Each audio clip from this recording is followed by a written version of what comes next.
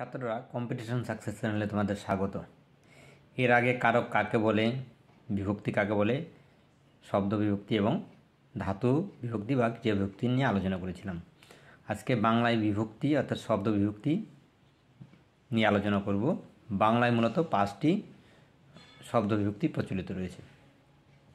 এ, অ বা কে, রে বা এ, রে, তে বা এতে র বা এর এখানে এদের মধ্যে র বা এ প্রধানত কবিতায় ব্যবহৃত হয়।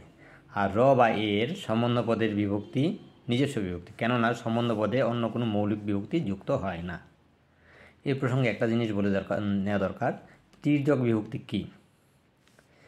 তাহলে যে বিভক্তিগুলি সব কারকেই ব্যবহৃত হয় বা প্রয়োগ করা হয়, সেগুলোকে বলা হয় তির্যক বিভক্তি। যেমন এ ও তে, এ দুটি বিভক্তি সব কারকেই প্রয়োগ করা যায়। তাই এই দুটোকে তির্যক বিভক্তি আমরা বলতে পারি। এবার আসে অনুসর্গ প্রসঙ্গে। অনুসর্গ কি বা কাকে বলে? যে সকল অব্যয় বিশেষ সর্বনাম বা বিশেষ্য স্থানীয় পদের পরে বসে বিভক্তির মতো কাজ করে এবং কারকের বোধ জন্মাতে সাহায্য করে তাকে অনুসর্গ বলে।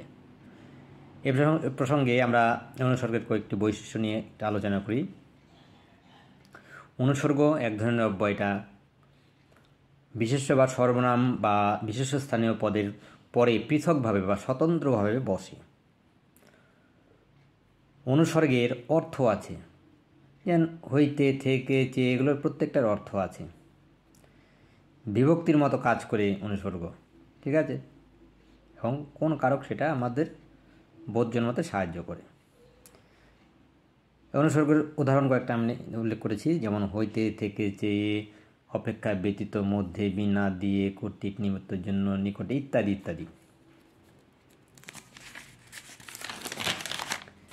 এবার বাংলায় অনুসর্গকে আমরা দুভাবে আলোচনা করতে পারি। একটা নাম পদজাত অনুসর্গ, যেমন দ্বারা দিয়া কর্তৃক নিমিত্তর জন্য অপেক্ষা পাশে ইত্যাদি। আর দুই ক্রিয়াজাত অনুসর্গ যেমন ধরিয়া ক্রিয়াপদ থেকে ধরে, বলিয়া, বলে এগুলো ক্রিয়াবোধ হতে পারে, লাগিয়া লেগে, চাহিয়া চেয়ে হইতে হতে এগুলো ক্রিয়াজাত অনুসর্গ কেননা ক্রিয়াপদ থেকে তৈরি হয়েছে। এবার আরেকটা জিনিস আমরা আলোচনা করি, বিভক্তি অনুসর্গ দুটোই তো কারকের বোধ জন্মায়, তাহলে দুটোর মধ্যে পার্থক্যটা কী? এক নম্বর, বিভক্তি শব্দের সঙ্গে একাত্ম হয়ে বসে শব্দকে পদে পরিণত করে। একাত্ম মানে শব্দের সঙ্গে মিশেই বসে, আলাদাভাবে বসে না। এবং শব্দকে পদে পরিণত করলে তবে বাক্যে বসতে পারে। আর অনুসর্গ, শব্দের পরে পৃথক বা স্বতন্ত্র বা আলাদাভাবে বসে বিভক্তির মতো কাজ করে। বিভক্তির অর্থ নেই কিন্তু অনুসর্গের কী আছে? অর্থ আছে। বিভক্তি এক বা একাধিক বর্ণ। যেমন তে, এতে, কে, অ এগুলো এক বা একাধিক বর্ণ বিভক্তিগুলো। কিন্তু অনুসর্গ এক ধরনের অব্যয় পদ, যেমন হইতে থেকে চেয়ে দ্বারা দিয়ে এগুলো অব্যয়। তো অব্যয় কাকে বলে? এরা, এটা আমরা পদের চ্যাপ্টারে যখন আলোচনা করব, তখন বলব। বাংলা কারকে কারককে ছয় ভাগে ভাগ করা যায়। অর্থাৎ বাংলায় কারককে ছয় ভাগে ভাগ করা যায়। যেমন কর্তৃকারক, কর্মকারক, করণকারক, অপাদানকারক অধিকরণকারক, নিমিত্তকারক। নিমিত্তকারককে আগে সম্প্রদানকারকও বলা হতো। তো প্রথমে আলোচনা করব আমরা কর্তৃকারক।